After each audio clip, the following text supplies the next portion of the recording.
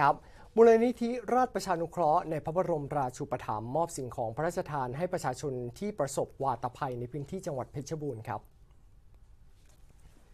ที่หอประชุมที่ว่าการอำเภอหล่มสักจังหวัดเพชรบูรณ์ครับมูลนิธิราชประชานุเคราะห์ในพระบรมราชูปถัมภ์นำสิ่งของพระราชทานจำนวน 1,838 ชุด ให้จังหวัดเพชรบูรณ์นำไปมอบแก่ราษฎรที่ประสบวาตภัยในพื้นที่จังหวัดเพชรบูรณ์ โดยมีนายกฤษคงเมืองผู้ว่าราชการจังหวัด เป็นประธานคณะกรรมการมูลนิธิราชประชานุเคราะห์ประจำจังหวัดเพชรบูรณ์ครับ เชิญสิ่งของพระราชทาน มอบให้กับนายอำเภอ ผู้แทนนายอำเภอ และประชาชนที่ประสบวาตภัย โอกาสนี้ผู้ว่าราชการจังหวัดเพชรบูรณ์ได้อัญเชิญกระแสความห่วงใยของพระบาทสมเด็จพระเจ้าอยู่หัว กล่าวกับผู้ประสบวาตภัย เพื่อเป็นขวัญกำลังใจ